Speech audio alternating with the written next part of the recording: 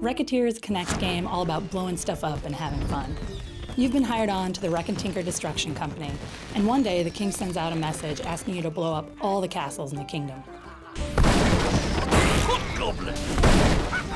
Once you get comfortable behind the ballista, the movements are pretty easy to do. You just walk right up, grab the shot, pull back for power, move side to side to aim, and just let it go. If you aimed correctly, you should get rewarded with some pretty cool destruction.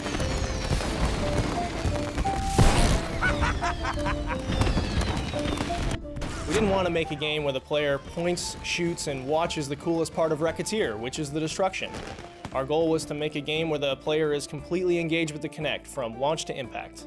So for openers, your hands are represented by these magic gauntlets. As you move your hands around, the gauntlets move with them. You can control just about any shot midair by hitting the shot with the gauntlets. Each time the gauntlet hits the shot, it will give it a little nudge in the direction you swiped. Some of the coolest shots in the game require you to bend your shots a bunch. In level 3-3, there's a whole mountain between you and the castle. But there's this narrow ravine on the right side of the map. You control your bomb shot around giant pillars and mountain walls, collecting icons along the way until you bounce it off the ground and through the front gate of this castle. You wait a second until the shot's inside the castle to activate it, and the whole thing explodes. It's a great shot. So, now you've seen the castles, the environments, and how to play the game, but what's it all about, right? Why are you doing any of this? It's for the points, plain and simple.